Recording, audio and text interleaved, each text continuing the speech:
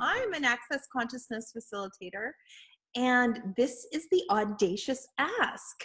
And what is the audacious ask you ask yourself? Well, one of the things that I've noticed is we have been programmed or conditioned to ask for way less than what's exciting for us, way less than you know what we can like get fired up about it's just like oh well you know i'd like to create for this next bill. Like oh what would it be like if i had enough money to pay my rent? Or what would it be like if i just had enough money to pay for my kids tuition? Or you know like maybe we could go on a vacation if we're lucky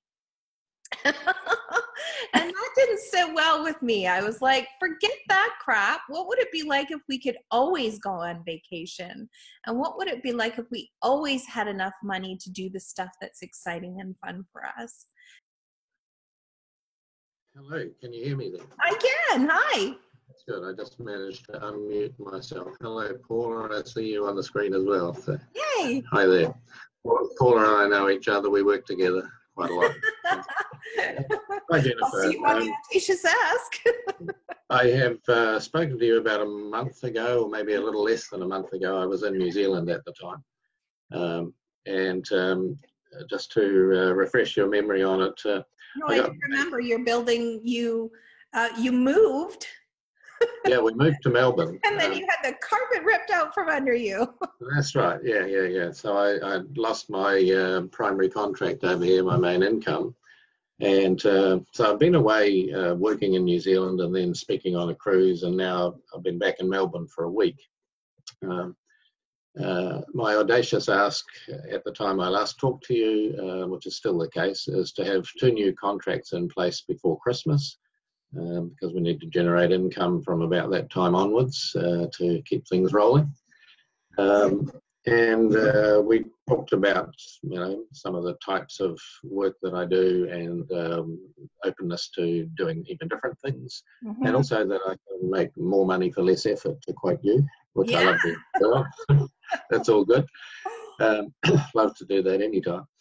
Um, yeah, so I've been um, talking to people I come across and sort of feeling like I'm at a point where I need to now take some more action on. Uh, one of the metaphors I sometimes use with people is a, a, moving ship is easier to steer than one that's just sitting still. No kidding.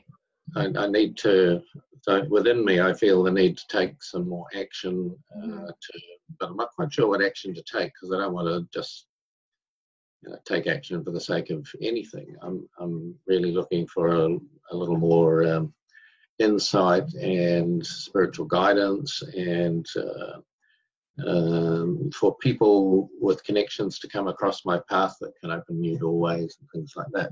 Mm-hmm. Cool. It's cool. So um, the um, cruise ship speaking and um, the the New Zealand stuff that happened afterwards, or or you had that lined up before? I had that uh, already lined up beforehand. That was lined up some months earlier. Yes. Cool. I like it. And so when you decide that you're going to have a new gig, what's your usual process? Like if somebody says, "Oh, hey Mark, I'd like you to come and do this thing." How do you know it's going to add to your life? Um, historically, I've had four main channels. Uh, one is um, uh, my wife has promoted some of the courses that I teach in um, NLP and various other things. Uh, uh, secondly, there's been uh, corporate connections, uh, mostly in New Zealand, some in Australia, but mostly in New Zealand, um, such as one I did um, an event in New Zealand during November, earlier November. Um, Thirdly, I do coaching, and that tends to rise out of events I do, and people say, "Hey, I'd like to work with you, and can you help me with this or that?" Whether it's in a mm-hmm. business, or their personal life. Um, and um, and fourthly, there are just sometimes things that come off our website that just nice. uh, you know we've got a New Zealand and Australian website. Nice. Sometimes there are just things that come from there. But right now, it's like there's a bit of a hiatus, and um, I treat that as um, it, it, feels like the universe is saying there's a shift in direction. Maybe. Which will utilize. Your body. Let's ask your body. So, Mr. NLP, get out of your head for a second. Yeah, your hand on your heart and your hand on your belly button. yeah, yeah. Okay. So ask this question: Does it add to my life to work before Christmas or work after my after Christmas? What feels lighter? Uh, it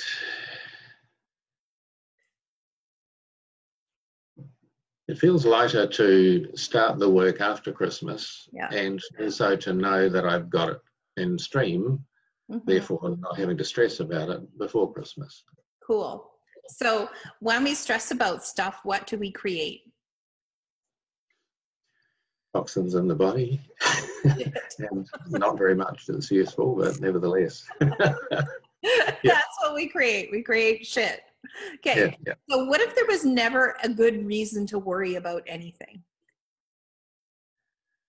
Uh, then I'd have spare time. You would. Yeah. So this is what I'm seeing in my head, Mark. Is um, what if you got out a calendar and you asked, "What month am I talking about?" And your body was like August, and you're like, "Cool. Where in the world will I be in August?" And your body's like, "Mexico," and you're Mhm. like, "Wow, that's cool." and then you start asking questions um, not based on fact not based on conclusion just based on energetic awareness of where the universe would like to point you. And so i know this is a little weird but this is how i build my calendar is like good. okay where am i going to be? One and then um and then it's like okay well what does mexico want And without knowing what you're doing, just you're going with a body felt yeah sense of yeah where. it's like okay where Yeah.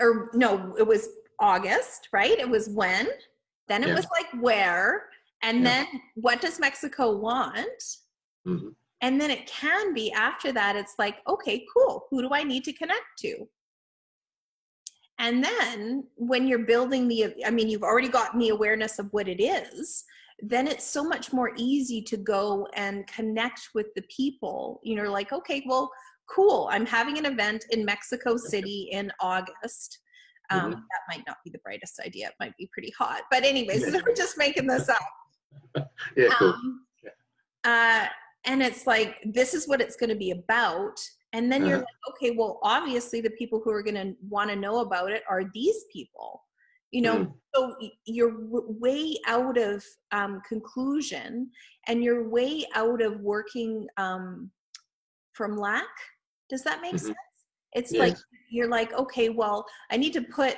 you know money in the tip jar before christmas well it's like okay well if you move backwards in time rather than trying to move forwards in time it's actually easier and so maybe you know i mean after you say okay well what's next after that? Like you've already sort of started to build out this august in mexico thing. Then the next thing might be like new year's in dubai. Uh-huh. and then you're like oh well obviously i can work on that right now. And you know the universe is kind of strange. And you know as an nlp practitioner you'll know that. Um, that what the things are that come up for us next aren't always linear Yes. and um, you know if we're naturally linear thinkers or we've been preconditioned to be linear thinkers um, then what we can do is we can end up cheating ourselves out of like really great stuff because it's not linear to choose it does that Mm. make sense Yeah, it sort of appeals to me in a way because um, quite a few people around me that I've talked to so far, as I've just sort of been spreading the word a bit, uh, are giving me more traditional lines like I, I've been self-employed for 25 years, and Mhm. I say, "Well, go get a job or something like that." oh my god Hey, yuck, don't want to do that. I want to do stuff that inspires me, and I want to do. Um, I'm open to some new things as well as uh, as well as making use of what I. of When I course say making use of what I already have, it's not about just repeating what I've already done. exactly Uh, it's about it's about uh, you know, that's what I feel well equipped to bring to the world and what I'm inspired to bring to the world because there's a lot of the things that I'm, you know, even as I do those, I'm developing new ways of doing them. Of course. So, I, I love it. That's what makes me sing. Yeah. So, you know, if you yeah. were meant to like be a bus driver your entire life, you would have done that. yeah, yeah. Did you know this? The average person who decides that they're going to be self employed, who isn't well suited to being self employed, will give up after three years. Yeah. And so the next time somebody says to you, you should get a job, yeah, yeah. you go ahead and say to them, well, why don't you get a job? And they're like, oh, I already have a job. You're like, good, stay there. Yeah, yeah right. yeah. So, um, it feels it feels um, risky. I've been in this territory before, but uh, I don't I don't overly like it um, because yeah, I have well, responsibilities and commitments. But okay, at the same cool. time, let um, me ask you this. Let me ask yeah. you this, Mark.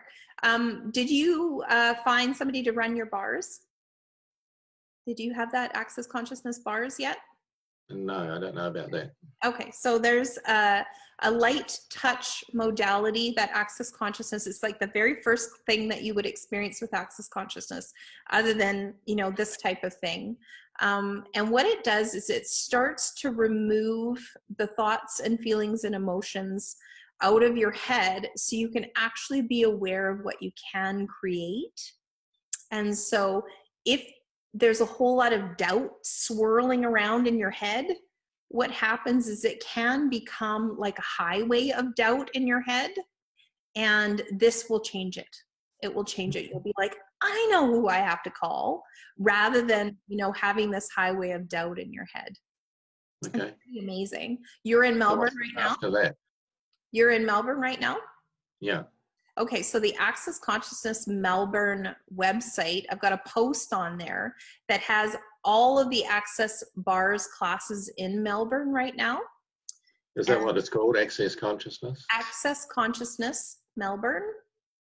If I Google that, I'll get it. On there with that, all the bars classes. So you can go and have a bars session for like most people charge about 200 bucks for a bars session or yeah. you can go for a whole entire day and take an access bars class and have your bars run a bunch of times and learn more about it for 300 bucks.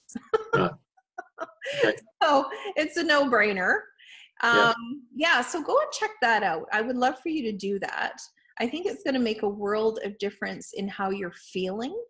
Um, and you might actually get to tap into more creative capacities with it. Um, you'll notice something you know being a coach and a trainer you'll notice the difference that it makes in like if you decide decide to go for a class just have a look at how everybody sort of looks and feels at the beginning of the class and then have a look at how everybody looks and feels including you at the end of the class because it's just it's really really a cool thing. Yeah. um it's brain science. It's been studied uh, um, to change the neurophysiology. Um, there's a, a, study by Dr. Jeffrey Fannin um, mm-hmm. to show the difference in this. And there's a actually, if you go on to YouTube, um, there's a documentary called Beyond Words. So if you look up Access Consciousness Beyond Words, on YouTube, there's a beautiful documentary that talks about how the bars work. And um, yeah, they're pretty amazing. That's my infomercial for Access Bars. so here's your homework go get your bars run or go to a bars class.